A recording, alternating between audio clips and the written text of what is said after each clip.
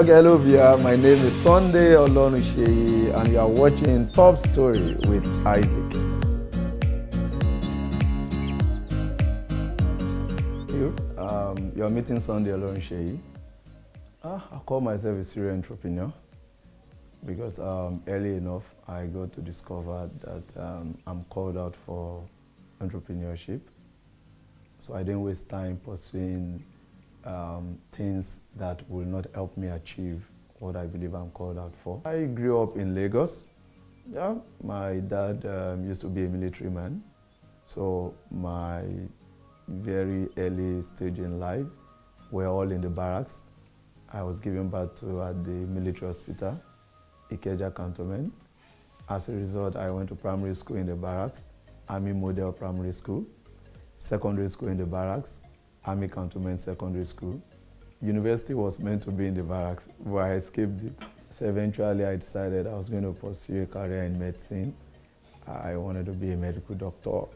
You know, the number writing of JAM, you did it the first time, JAM would jam you. You did it the second time, you did well, but somehow, um, when it comes to medicine, uh, so eventually I opted for a pre-degree program. Even though I didn't want to do it then, but you know, this High Crusaders group, we have our counselors that would be like, guys, you guys don't want to go to school.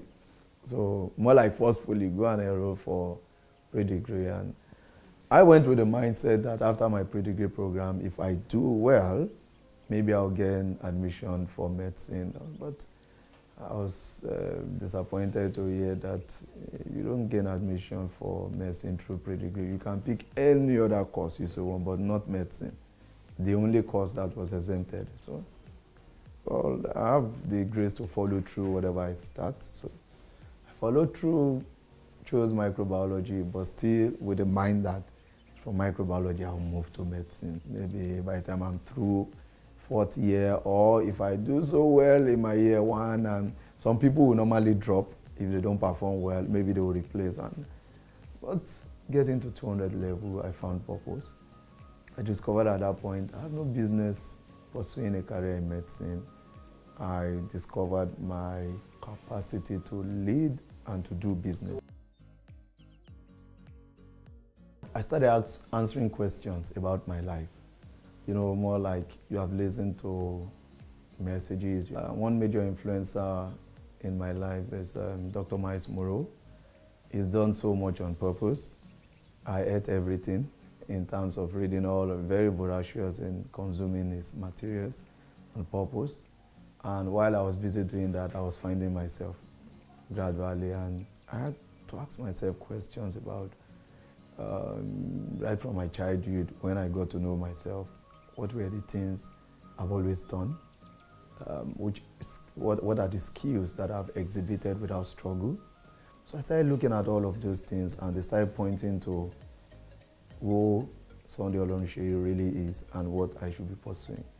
And right there and then, answering all of those questions, everything was pointing towards entrepreneurship, everything was pointing towards leadership, everything was pointing towards a conglomerate where your life would just be about people. Everything was also pointing towards adding value to people.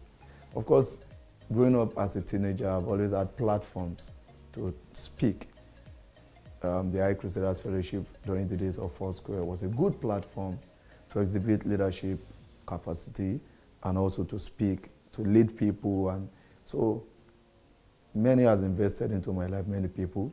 But I've also seen myself investing into people's life. So right there and then, I just made up my mind, oh, this is what I should be doing. But you know, I said I like to follow through. Some other people would have just stopped microbiology then. I knew it had no bearing with where I was going to what others would have done is at that point, so why am I still studying microbiology? When I know I'm not going to need it, I'm not going to use it, I'm not going to practice for one day. But just in my habit of following through, I ensured that I graduated with my BSc honors in microbiology. And from that point, I started looking for opportunities in the area of my purpose. School was at home for a few months, but while at home also, I got engaged um, working as a volunteer in the church, you know, just assisting with doing one or two things in the church then. Eventually, I went for youth service. Now, when I got into the orientation camp in Kano State then, uh, we don't have much of these Boko Haram activities. And so when they posted me to Kano, I didn't feel any, okay, that's where you put, let's go. So I went with a mindset that, man, this year I want to rest because right from my teenage all through university, I've been busy jumping up and down. On, you know, on campus, I wasn't just um, fellowship president. I was, uh, what's it called, at the national level too. So jumping from one university to another, that opportunity really have, um, helped me know so many parts of Nigeria because today I'm at Unilag, tomorrow University of Uyo, next tomorrow University of Port Harcourt, back to Benin, uh, OAU, UI. So it was so busy and engaging for me as a national executive. So getting to the NYSC, I said, man, I just want to rest.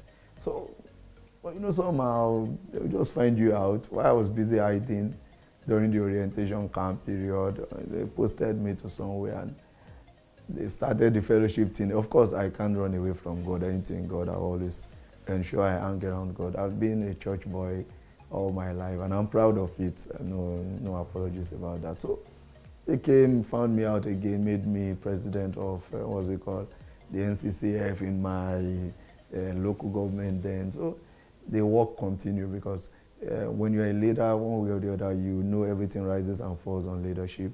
So when they commit something to your end, you don't want it to fail. You want to put in your best to ensure that when you are living, you, you are leaving a lasting legacy such that people come into your shoes, they will know that you have done well.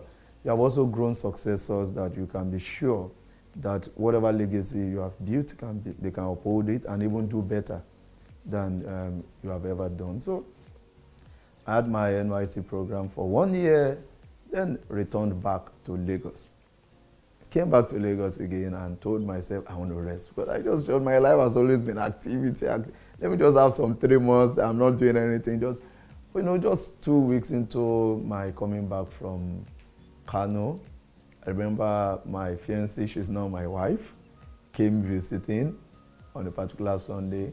Another friend, a mutual friend, uh, both of us also came, working with an investment company then. Who was working there? The Oluwanifemi Adekunle. So he came that Sunday evening and his purpose of coming was to come and market me to buy investment and like that.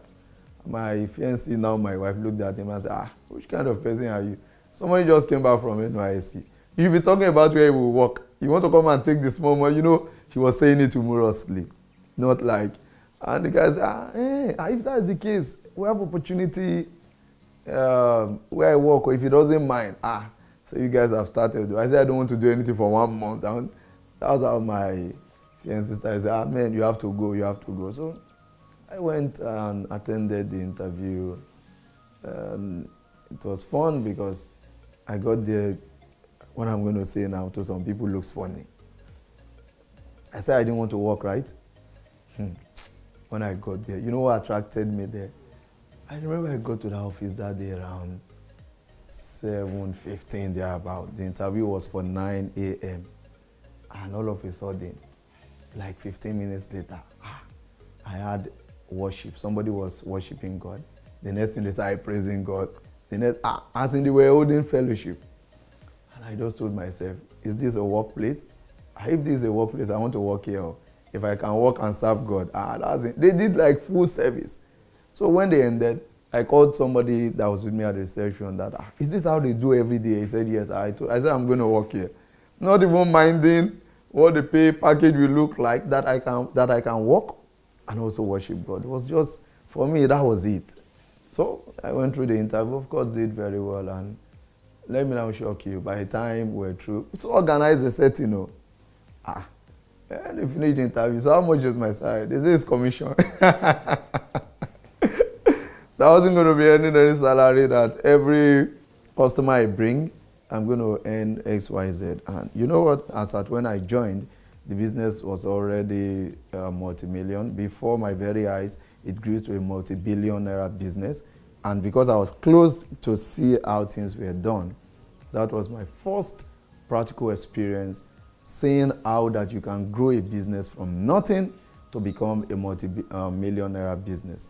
And for others, it was like struggle, struggling to make ends meet. But for me, it was a training school. I've understood early enough that you don't work to earn, you work to learn. Because when you learn enough, you are going to earn more than enough. So I knew that from beginning. So I focused on learning while there. Of course, eventually things weren't as bad as I thought. It didn't go as bad I thought it was going to be because eventually having good interpersonal skill with um, the little communication skill I acquired there, I was able to close a number of deals that earned me some good money, that made me feel like, man, you are working. You know, I always you earn, you feel, man, you are not working. But this one, I knew I was working because what an average young man will want to do.